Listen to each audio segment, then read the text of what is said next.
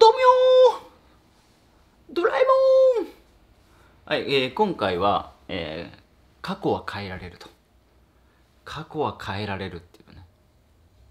まあ、前のあやさんがね、そんな動画撮ってたんですよ。過去は、過去も変えられるよみたいな。そんなバカなと。タイムマシン、これドラえもんね、来てますけど、いや、ドラえもんいないでしょタイムスリップのマシンないでしょいや、過去なんか変えられるわけないよっていう。どうですか？過去を変えられると思います？でも変えられるんです。というお話です。うさんくさいですね。これ過去、まあ、現実に言うと、過去の意味付けを変えられるってことです。その過去起こったことはもう変えられないんだけど、その過去の意味付けは変えられるんですよ。ここがね、すごく重要なポイントで、まあ、タイムスリップしてねその場に戻ってまたやり直すってことだったら過去変えられるけども実際過去起こったことっていうのは変えられなくないですか？それは変えられないですよ。でも意味付けは変えられるんです。意味付けは。例えば例えばうーんそう僕がね会社をあの退任する時ですね。あのまあ社長、まあ、グループ会社の社長でしたと。で僕はまあ借金2000万ぐらい作ったんですけどもまあ、その作った理由っていうのが、まあまあ売り、会社っていうのはね、まあ、ずっとこういう会社も中にもあるかもしれないですけど、会社っていうのは上がったり下がったりするわけですよ。でもこの下がったとしても、固定給があるわけですよ。従業員に給料払うとかね、外あのその業者さんにお金払うとかね、いっぱい固定給ね。当時、その東京のその事務所の家賃が150万ぐらいしましたから、その150万も売り上げがどうのこうの関係ないんですよ。とりあえず毎月払わないといけないんですよ。まあ、2フロア借りてましたからね結構大きいところ。そうありたかった。なでまあ売り上げが下がってもその固定費はね払わないといけないわけですよ。だからまあ500ぐらいですかね。500ぐらいは。だから人まあ僕売り上げ作ってたのは僕結構僕一人で売り上げ作ってた部分あるんですけど僕が100だ1人で500万稼いだとしてもゼロなんですよ。あります。だから大体本当に1000、まあ、毎月アベレージで最低1000ぐらいで1人でこう上げていかないといけないみたいな。まあ、ぶっちゃけそんな感じだった部分あるんですけど、まあ、それで、まあ、何ヶ月かね、それが続いて、500ですよ、固定費。それは2000万ぐらいいきますよね。僕、だからその半年間ぐらい僕、給料取ってないですからね。全部貯金全部会社会社に入れて、うん。で、最終的にその、ね、あの全部自分の貯金もなくなったから、借り入れして回ってみたいな感じいろいろやってっていうそう。まあ親にも土下座して借りに行きましたからね。そう。まあ家俺んち金ないですけどね。でももう闇金行こうかなって今思いましたもん。マジで。さすがに闇金行く前に親行こうっつってね。そう。まあそういう時期があるわけですよ。で、まあ、一応僕はあのグループ会社の社長みたいな感じでやってたんでまあ退任する時にね一応会社に、まあ、僕が個人で貸し付けてるわけですからあのーまあ、エクセルで全部シートでこの貸付ですよね。何日に会社にこう入れたのかっていうのを全部データに出してこのしあの紙をね提出したわけですよ。上に。会社にこれだけ貸し付けてますと。あのあの1秒も見られなかったですからね。それはお前の責任だと。まあそうまあそうそうそうです。そうなんだけどもみたいな。そうなんだけどもみたいな。1秒も見られないっていうね。ピッみたいな。見ないと。見ないって。もう多分一生忘れないですね。見られないっていうね。一生懸命ね書きましたからね。もう細かく。ね。あの細かくいつ何何月何日にこうでエクセルでデータ出して、ね、1秒も見られなかったですね。1秒も。でその時はさすがにマジかと。俺結構会社で、まあ、まあまあまあこれ作っ、まあ僕がね、その売り上げ低迷したのを作ったのは僕の責任だけども、いや、まあまあ会社に貢献してきたぞと。いや、結構俺頑張ってきたんだけどな、みたいな。会社に泊まってね、会社がピンチの時もさ一応支えた部分もあるし、まあ僕、従業員僕一人の時もあったし、結構ね、あの、会社がその、こう、行くその陰で支えてた超支えてたっていうのは、まあ、自負してるわけですよ。マジかと。パンみたいマジかどうする？でどうする？でしかも辞めるって言っちゃってるし。まあその時はねお客さんには何も言ってないですけど今はもう言っちゃってるんであれなんですけど。だからまあここの鹿児島のその事務所まあ初期費用20万ぐらいですよ。もうなかったですからね。20万ないんですよ。20万なくてね。よく鹿児島に行ったら今思うと本当にマジファンキーだなと思いますよ。だってマジで何も20万もないんですよ。でその契約はしたんですよ。契約は先に取ってその本当に請求書が来てて、まあ、期日まで20万ぐらい払えと。これねえぞどうするみたいな。でそれで誕生日記念みたいな感じで僕はキャンペーンやってそこで作ったんですけどで作ったらすぐその入れてでここ来て本当に裸一貫ですよ。借金ある状態であのまあスタートしたわけですよ。何もないですよお金も。あるのは負債ですよね。負債背負って この鹿児島でね一人でねあのやってきたんですけど、でも今今はねそのそそのあのどういう意味付けができるかっていうとああん時ねあのそれはお前の責任だっていうふうな知った激励ですよね。それがあるから今があるなって思えるんですよ。もう一度ますね。いやその時はねマジかと思ったんですよ。いやさすがにマジかと。見られじゃ見てももらえないのかと。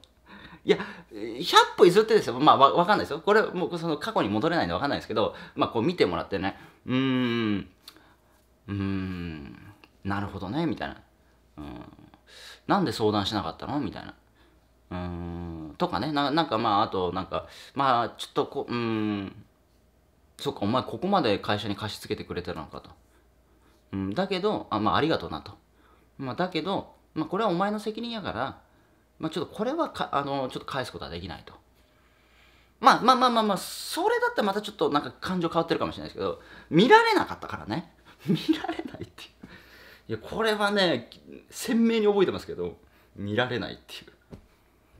でも、その時はいろいろ思ったんだけども、あのー、まあ今は、その、意味付けができるんですよ。あの時にもし逆に言うとね、あの時、じゃあ、あ吉谷悪かったなと。お前負担かけたなと。じゃあこれは一応グループ会社としてケツ持つよと。うん。だから、まあ、あの、返すよと。で、もし、もしそうなってたら、多分今の僕ないんですよ。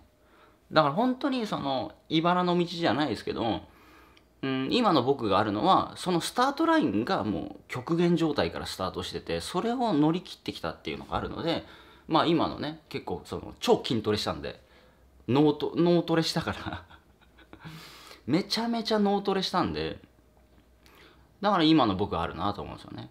うん、あの時だから最後の最後のだからあのお祝いの花向けの言葉ですよ。あれは。あれは花向けの言葉です。最後の。っていう意味付けができるんですよ。今となってはね。だつまりなんだろうな。うーん過去過去悲惨なことがあったとしてもそれを乗り乗り切ってねやりまくってそれを乗り切っていけば結局過去も笑い話になるってことです。ね？笑い話になるわけですよ。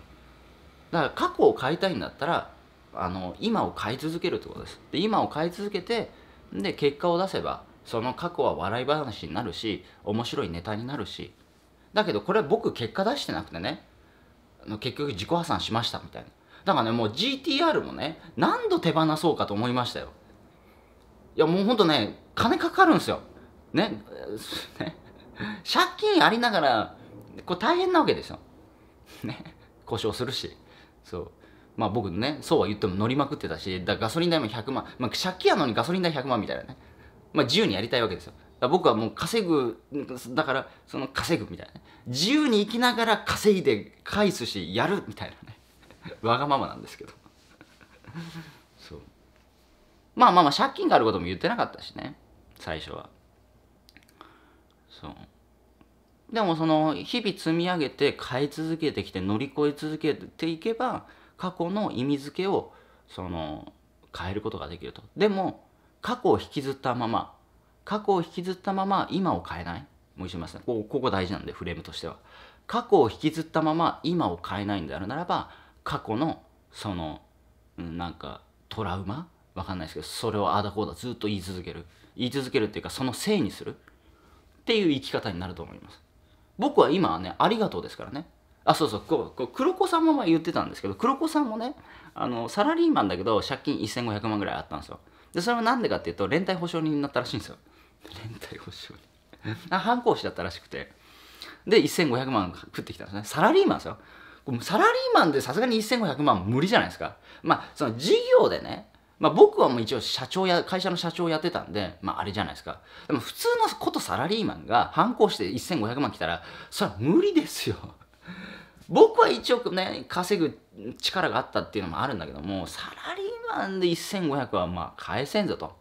もうその借金漫才があるんですけど黒子と僕の借金漫才みたいなの結構あるんですけど。まあ無理ですよね。でまあ黒子さんはまあ僕のドリアカまあ鷲津さんがドリアカ紹介してくれまあなんだ鷲津経由のドリアカだったんですけど鷲津さんのあの部下が黒子で。で黒子さんがドリアカに入ってそのドリアカのあの講義の中でちょっとだけブックメーカーのやつがあってこれだみたいなね。もうちょっとですよ。1講義ぐらいかな。ブックメーカーのその。でそれ見て「おこれなんか面白いな」みたいな。そう。でブックメーカー自分でブワー研究してやって。でみたいな流れがあって、まあ、まあ今はもう借金返したんですけどね。で黒子さんが対談でね「いやあの今はありがとうって言えます」みたいな。あの時にあの時に僕ハンコを押さなければあの時にハンコを押さなければ今の人生ないですと。っていうねことを言えるわけですよ。でもその時はねもう顔面蒼白でマジかみたいな。毎月アコム行ってねこのアコアコムとかそのあの約束に行きまくってねあどうしよう支払いみたいな思ってたわけですよ。だけどその人生が変わって今自由な生活してねまあお金にも全くもう苦労しないんですよあの人は。もう。多分お金に苦労することはもうほぼないんじゃないですか。まあまあなんかそのなんかドジこかなければですね。ドジこかなければ。なんか変なものにまた印鑑を押すとかしなければ。うん多分大丈夫だと思うんですけど。まああとはちょっと天狗になるとかね。天狗になってなんかやりだすとかしたらそれかやばいかもしれないですけど。でもな黒子ちゃん天狗になっちゃいそうだな。今鷲津さんが制御してる部分があるんでこう鷲津がいなくなったら黒子ちゃん大丈夫かな。ちょっとねいや鷲津さんがいるんで大丈夫なんですけど多分ね。いやー鷲津がいなくなったら黒子やべえだろうな。天狗になりそうっすねやつ。まあいいや。まあまあまあその黒子ちゃんもそのその僕にねその連帯保証人にした人には、まあ、ありがとうと。感謝しかないと。っていうことが意味付けができるんですでも実際そうなんですよね。でも実際はまあ客観的に見るとそうなんですよ。そのピンチ1500万っていうピンチがあったからこそもうお金にめちゃめちゃ苦労したしじゃあんまあ普通にサラリーマンで働いてたら無理なんで利子返す一生利子返して終わりですよ多分。無理無理無理。なんであのー、なんか新しいことやらないといけないわけじゃないですか。うん。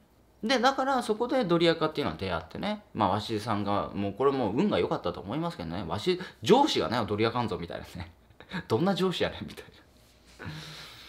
そう。だからもし普通だったらもし普通のねその頭抱えてね出社していないもうこのもう本当に黒い人生ですよね。このこう顔面蒼白で仕事していなければ鷲田さんも声かけなかったでしょ。普通になんか楽しく仕事してる人にね多分ドリアカどうだみたいな。多分紹介しないだろうし。うん。そう。だまあ客観的に見ると本当そうですからね。あの今のその稼げるスキルを手に入れたのはそれがあったからじゃないですか。なかったらそれないので。うん。だからまあ過去の意味付けをどうできるかって結構人生においてすげえ大事だと思います。過去の意味付けをどう変えられるかっていう。そう過去の現実過去が過去の起こったことは変えられないけど過去の意味付けをどう変えていくかに関しては今をどう変えてるかなんですよね。だから結局全部つながってるってことです。今を今日を変えている。そして未来を変えていく。結果を変えていく人は結局過去のあったそのものも変えられるんです。うん。笑い話できるんですよ。でそっちの方が良くないですか？つまりこの理論ですよ。この公式この理論があればどんなことがあったとしても変えていけばそのこの辛いことっていうのは思い出話ネタになる。わかります？ネタになるしなんだろう。あこれがあったおかげで今あるんだなって思えるし感謝できるしよくないですか？いやだからこのねロジックっていうのはね非常にすごくいいロジックですね。だからあの悲惨なことがあったらあネタにできるなみたいな。もう変えればいいじゃん。乗り越えればいいじゃんっていう。で乗り越えていくっていうね。そう。まあそれ乗り越えて乗り越えられない人もいるんであのー、あれですけどね。でも乗り越えてきたから言えますけど。でも乗り越えてほしいですよね。でも乗り越えられますよ。うん。やろうと思えばね、だってやり方わかるじゃないですか。うん。なんだ稼ぎ方。いや本当僕17年前ネットの世界ってあんまり情報ほとんど出てなかったですからね。今はそのデバイスもあるしやり方も出てるし。まあ少なくても僕なんだうーん。嘘をあなたに伝えてないですからね。稼げないものを稼げますっていうふうに言ってないですからね。大丈夫ですか、うん、なんでまあ塾生さんとも音声対談いっぱい取りましたけど全員嘘ですか？全員キャストですか？みたいな。なわけないですよ。全員本当ですよ。まああなたが嘘だとあなたが嘘と思うんだったら嘘でいいんですけど少なくとも僕は本物をあなたにお伝えしてるし実際に僕は体験したことをお伝えしてるし。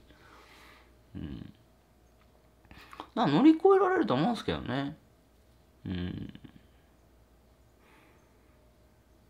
まあ大変ですけど。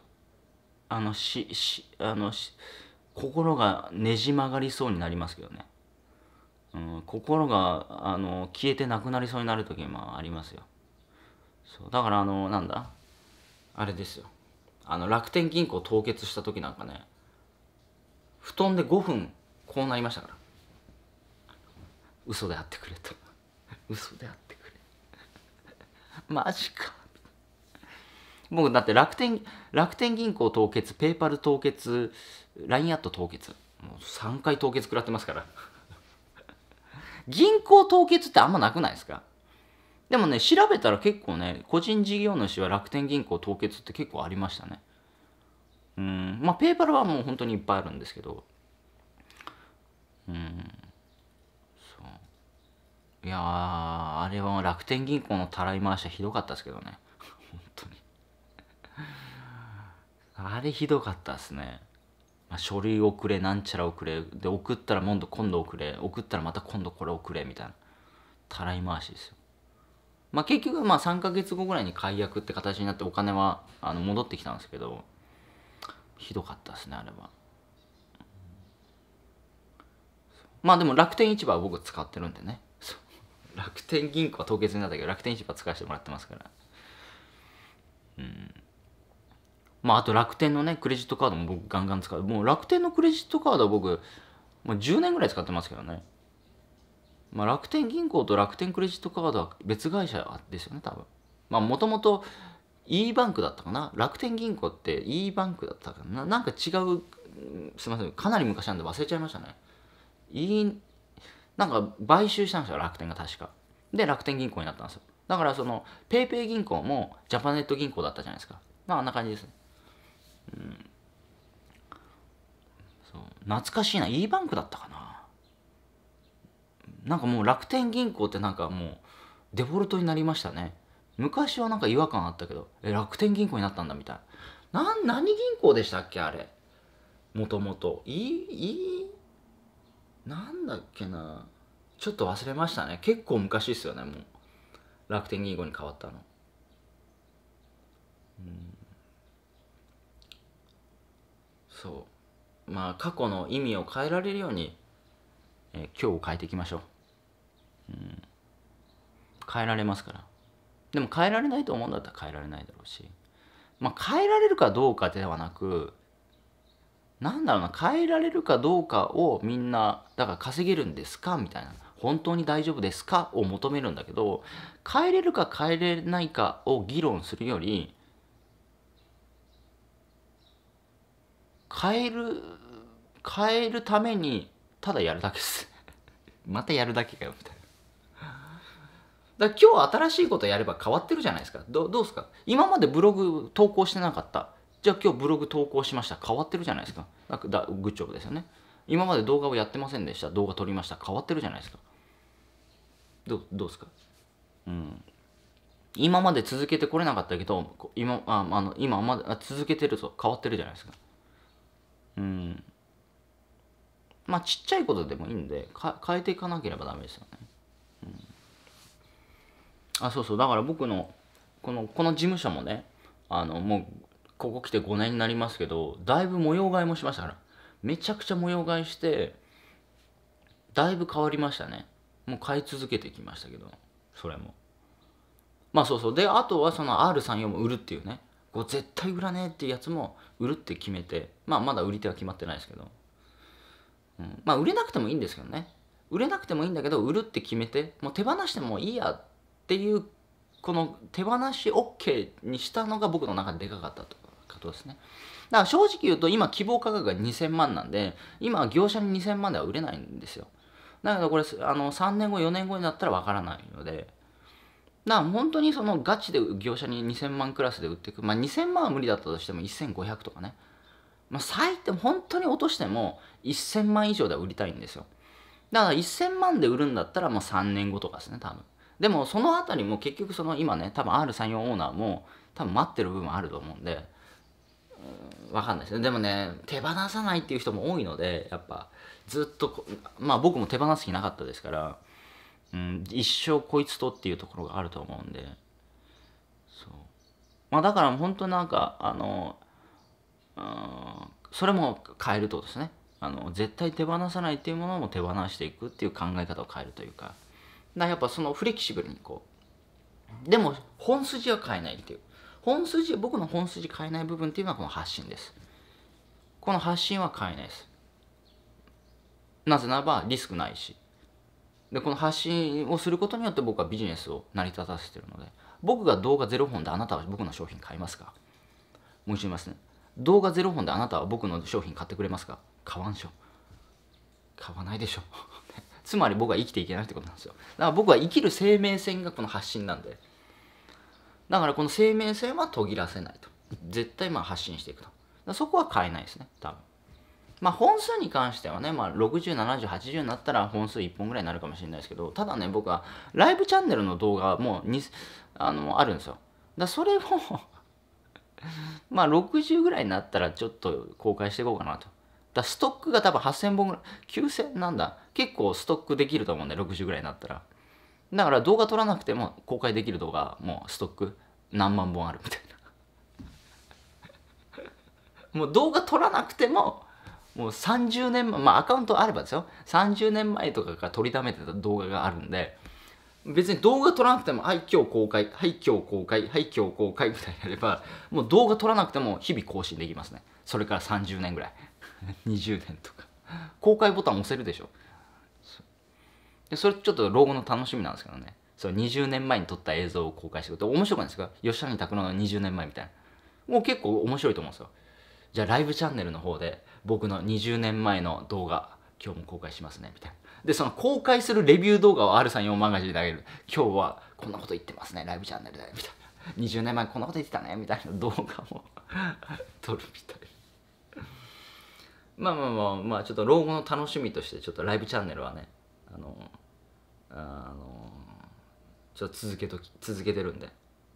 ライブ放送っていうやつがあるんですよ。でそれ今ローカルで撮ってるんですけどそれも続けてますからね。まあ今0回なんです。よ再生数0回の動画を撮り続けてるんですけど。まあ20年後用30年後用ですね。な感じですかね。はい。では終わります。ありがとうございます。